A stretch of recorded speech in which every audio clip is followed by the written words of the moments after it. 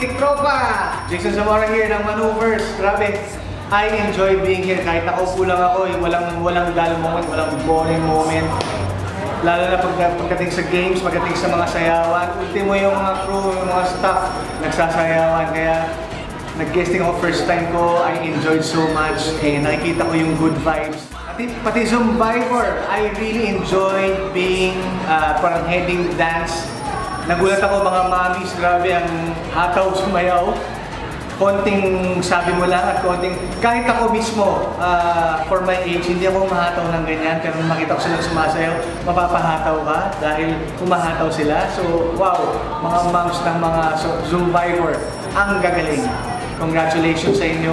May mga natanggal, meron na retain, pero congrats sa lahat ng mga mamis. They're all doing good. They're all great. The good thing about dito sa TikTok Lock is meron ano, meron tayong hindi ka uuwi ng ng tuyot, uuwi ka lang yung pawis. So it's a good thing because uh, nagsuslow down ang age mo eh pag pinagpapawisan kayo para mamili ka lang. Pero kung nandito ka araw-araw, manood ka lang ng nitong palabas na to, sigurado magpapawisan ka, sumabay ka pa. Na-experience ko yung, yung game, grabe. Uh, on the spot, mayroon kayong kailangan, may, may magcha-chat ka or magcha-cheer ka at the same time, ready ka na dapat sa game. It was thrilling for me. Uh, kailangan, kasi handa ko, hindi. It's all about uh, being happy, enjoying the moment.